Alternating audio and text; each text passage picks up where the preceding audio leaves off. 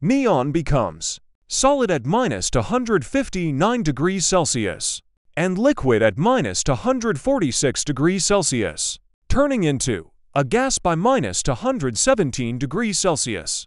Argon solidifies at minus 130 degrees Celsius, melts into liquid at minus 187 degrees Celsius, and becomes gaseous at minus 84 degrees Celsius.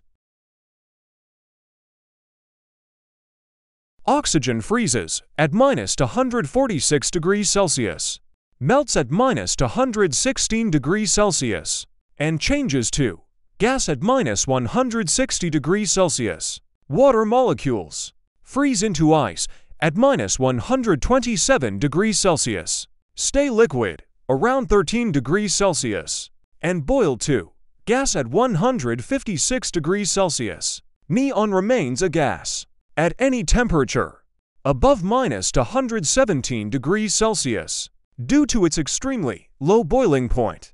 Thanks for watching. Follow physics assignment homework.